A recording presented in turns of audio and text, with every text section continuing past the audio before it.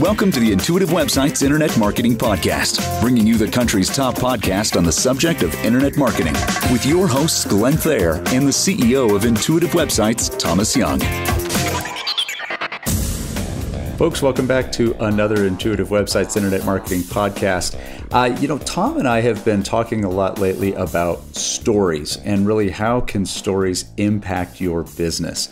And so, what better way to uh, move the story needle forward than to do a podcast on it? So, Tom, let's uh, let's chat. Why why the story podcast this time around? Well, we've talked quite a bit about content marketing, and we've talked about that in our podcast, and we've written a lot about it on, on our website. And I thought I would go a little bit further into content and get to kind of what, what the root of content is. And the root of content really is stories and telling stories. And I think it's important for the web marketer to understand, and even the small business owner to understand that your customers and your prospects want to relate with the story of your business. And in many ways, that story of your business then is how the value is translated. So, so many people would that would that mean i mean would that mean something like let's say you take your business your business story how it started? Is there a story on how your business started? Does that relate to it or is there something else? Oh it's it's it, that's really important but it's so much deeper than that because not only do people want to know your background where you came from and how you started and so forth but they want to better understand how you provide value to your customers and how you will provide value to them. And the thing about a story is, is stories are really metaphors for life. And and and what people do on websites all the time is they go to a website, they try to understand what that website's telling them to do or what it's about. They have their own interpretation of it, and then they go on and make a decision. Do I proceed with this company or do I go somewhere else? Do I make a referral? What do I do? A, what a story can do is better help you engage with customers and get a better understanding of what your business is about through this metaphor, through this telling of this metaphor. And so when you think about the stories that your business tells, it goes a lot further than just this is the history of our company. It goes into what is what are the values of your business? What is the mission of your business? And give us concrete examples of how that mission is realized day to day. This is something that is skipped over way too much by marketing folks. And the internet really this year and in, in, in, the coming years is going to push more and more for people to clearly identify the story because if they don't do it, their competitors will, and com- and customers will better relate to those competitors and do business with them. So it's kind of a fascinating thing that the web's doing now with storytelling. So how does it differ? How does how does a story differ than a case from a case study? I think a case study would be part of your storytelling strategy, and case studies might be core, central to what you're doing. Um, or could you take, or can you take a case study and revamp the case study into a story?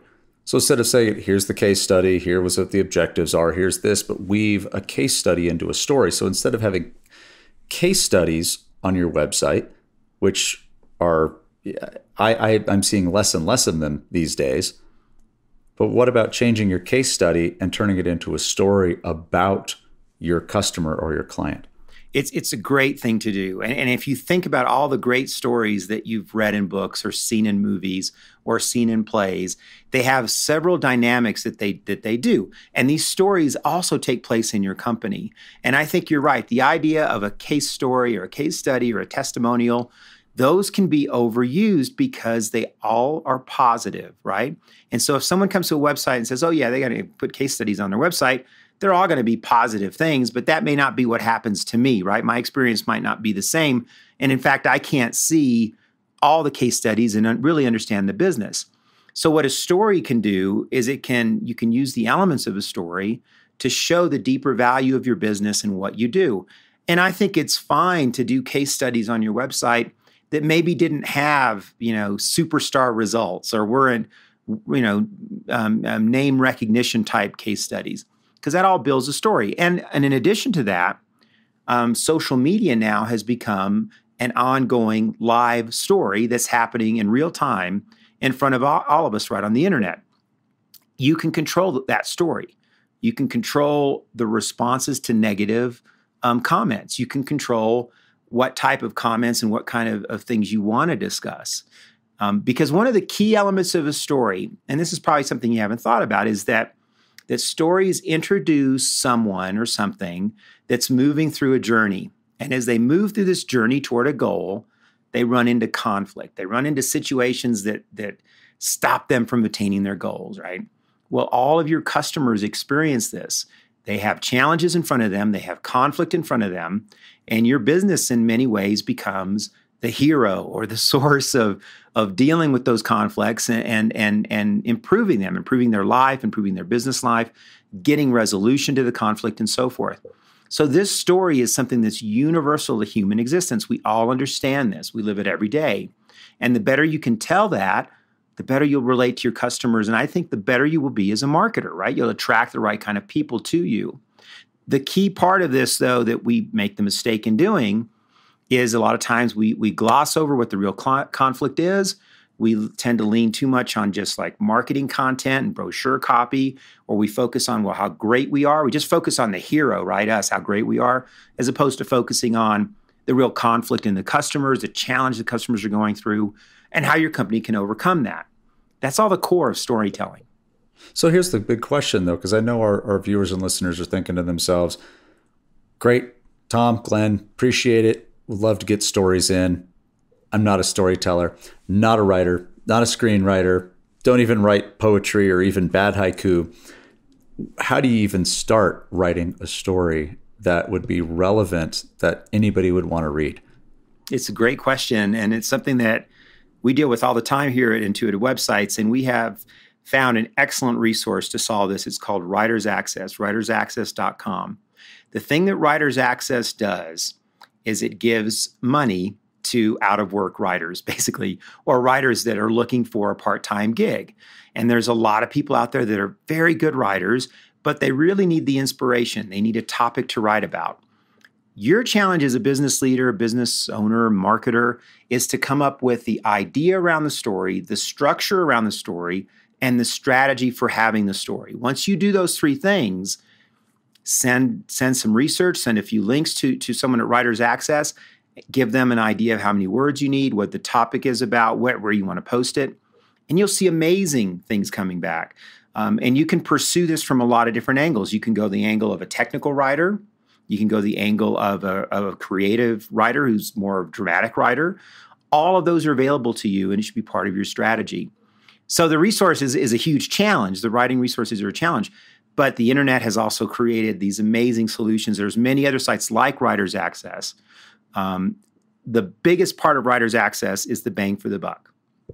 Um, it used to be that you'd have to spend hundreds or thousands of dollars to get a, a good writer in place.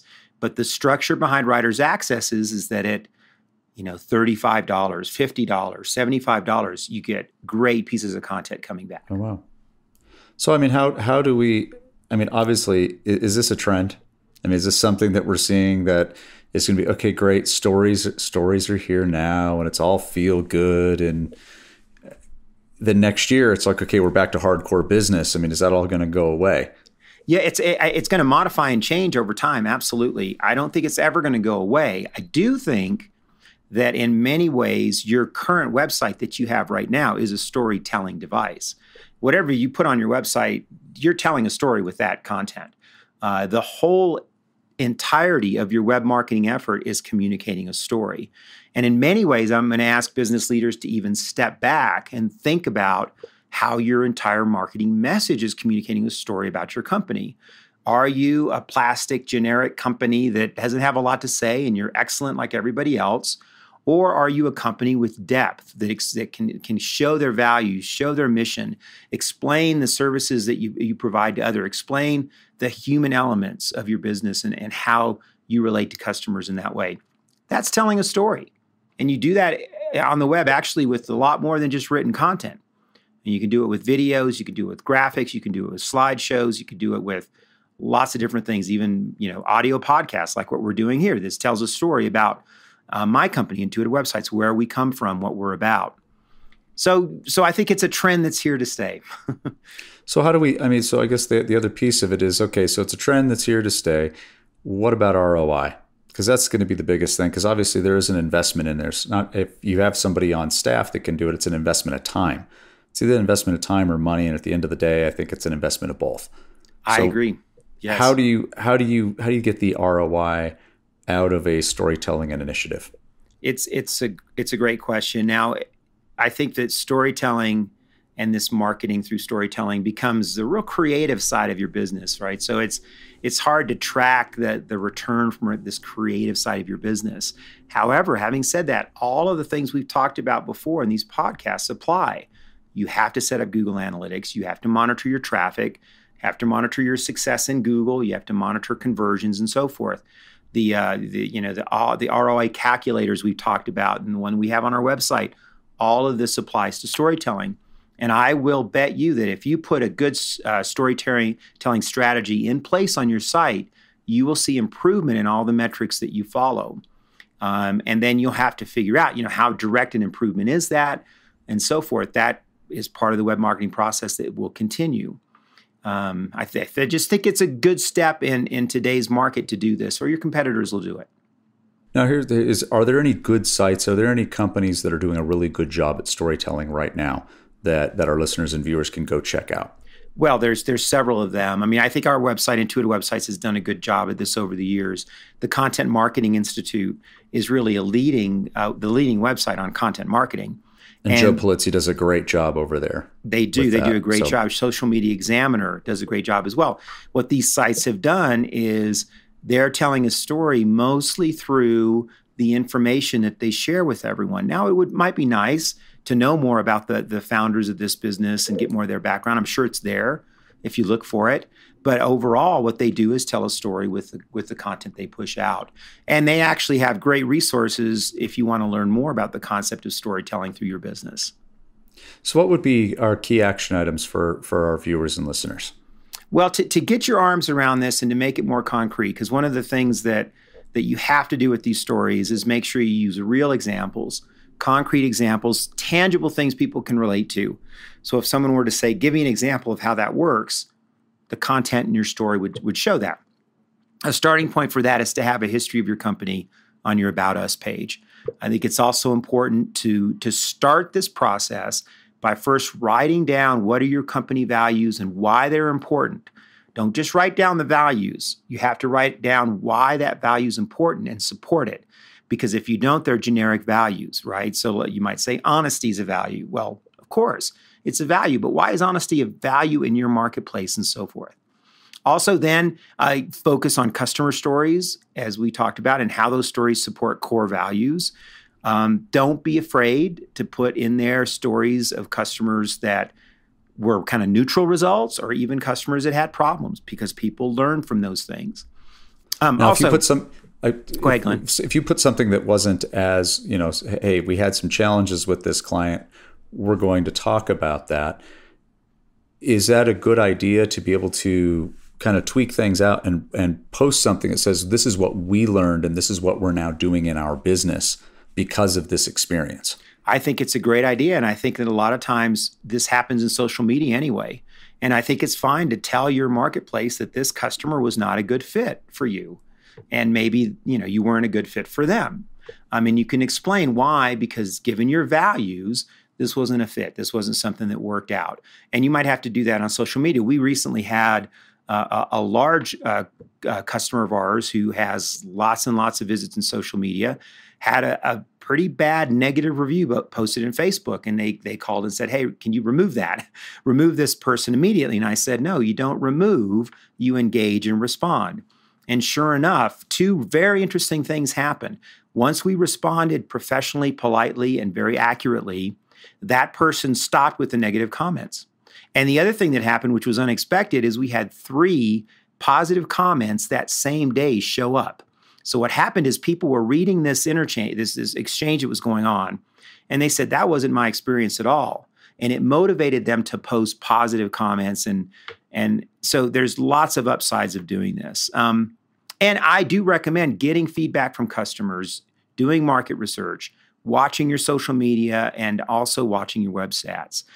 The bottom line is thinking of web marketing as a, as a whole, as the story of your company, the story of your business to the world. The better job you can do that, the better you'll engage with new customers and the more effective you'll be in business in general.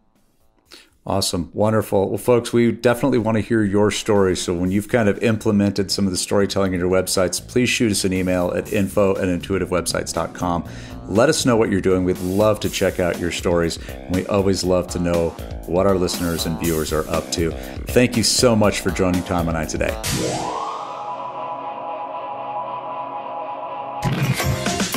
This has been an Intuitive Websites Internet Marketing Podcast. For more information and to see all the available podcasts and much more, visit intuitiveblog.com. If you have a website you'd like us to review or an issue you would like to see covered in future podcasts, email us at info at intuitivewebsites.com.